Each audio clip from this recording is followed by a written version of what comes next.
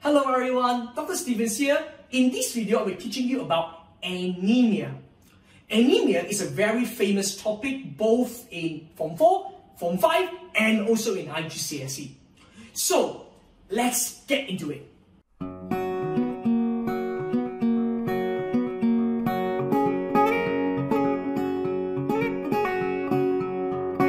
For anemia, first of all, you must know some common causes of anemia. Generally, the most common cause of anemia is actually iron deficiency.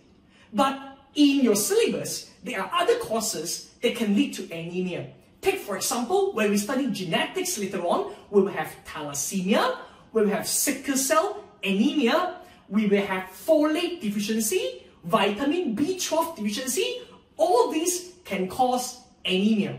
So generally, anemia is characterized by a drop of hemoglobin in the blood.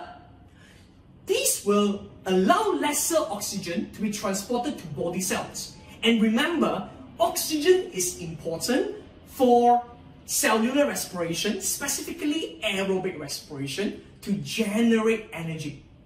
So you can expect that a patient with anemia will suffer from problems like fatigue, which means they will get tired easily, and how their body gets the oxygen is by increasing the breathing rate. Okay, you know, sometimes in higher level we call this as reduced effort tolerance. So when they walk up the stairs, when they're jogging, they will feel short of breath. Okay, and furthermore, their heart will also tend to pump faster to transport the oxygen to the body cells causing what we call as the palpitations, which means a person notice and aware of their own heartbeat. Okay? So the treatment for anemia will be depending on the causes of the anemia.